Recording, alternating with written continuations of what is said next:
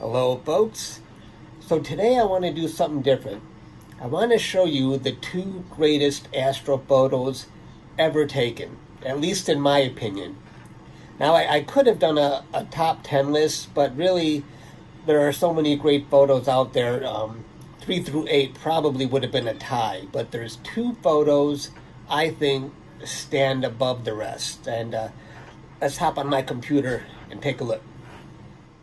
Okay, so this first photo I want to show you is pretty old. In fact, it dates back to 1880 and it's considered the first photo ever captured of the Orion Nebula. And if you look, you can kind of make out its core. But what amazes me when I come back to look at this photo is that it's a 51 minute exposure captured by Henry Draper. And you have to consider he had no auto guider, he had no electrical motor to control his telescope. This is done by hand, and look how good the stars look after 51 minutes. That's not that bad. I can consider, if I were trying to capture this for 51 minutes, using a telescope by hand, my stars would probably be one inch long. But I got to give uh, uh, Mr. Draper some credit. He did a really good job on that. And if you look at his second attempt on the Orion Nebula two years later, that uh, is even more impressive. This is a 137 minute exposure under the same circumstances. And it definitely looks a, a, a, lot more like the Orion Nebula that we all know. You can see a, a lot more of the gassy clouds were picked up. And this is the man himself. That's Henry Draper, and that's the telescope he was using. That's the camera, and it looks like he was controlling his telescope using ropes here. Now, unfortunately, um, um, Henry Draper died um, not long after taking this photo in 1882. He was only 45 years old, so who knows what he would have went on to accomplish after this. Maybe he would have discovered the Horsehead Nebula, not far from the Orion Nebula. You never know, but hey, you're on YouTube now, Henry, so congratulations. Um, everyone knows you now, at least anyone who, who watches my YouTube channel. All right, let's move on to the next picture now. Okay, so this is the next photo, and this is the Hubble Ultra Deep Field photo.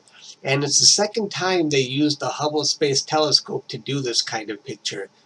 And what they did is they pointed the telescope at a blank patch of sky starting in September of 2003 up till January of 2004.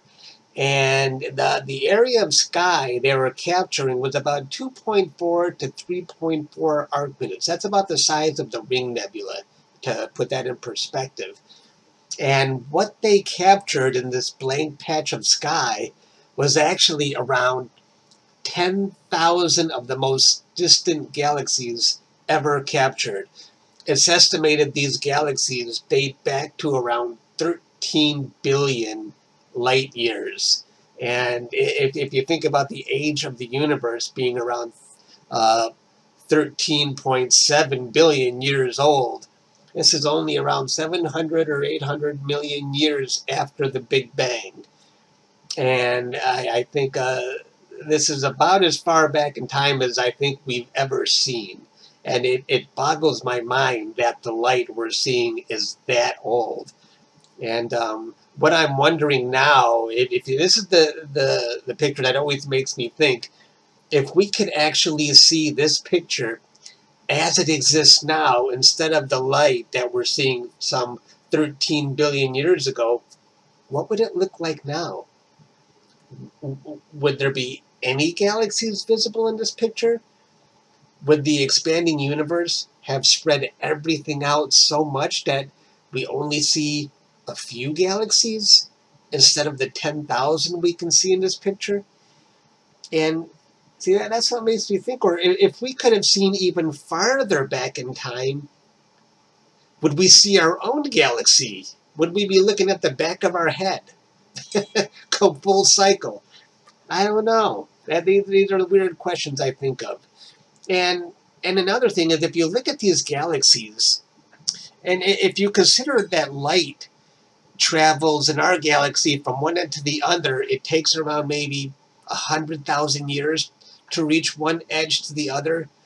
picture all of these galaxies as a bunch of Milky Ways, how long it would take light to travel from one end of the picture to the other end. It, it's, to me, this is the very de definition of infinity. It just, to me, goes on forever and ever.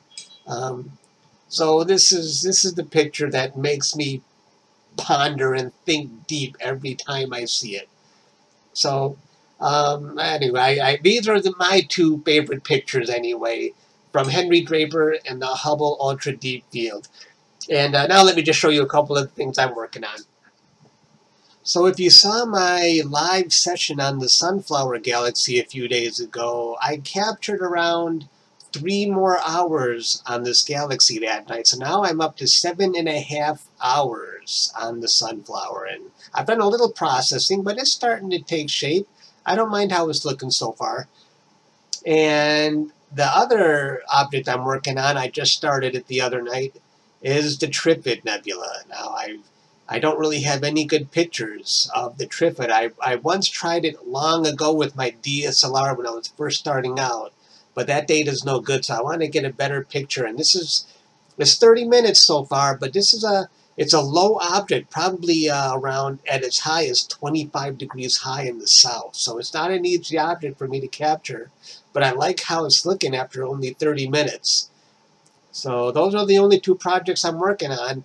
Uh, we might have clear skies tomorrow, I'm hoping, because I think it's going to take me a while to finish these, especially the Trifid, because it's only probably uh, visible for about an hour a night for me, so it's going to take me a long time to finish. But luckily, I'm getting a head start on it. I, it does, it's not even visible until 3.30 a.m., so it'll be around for a while for me to finish up.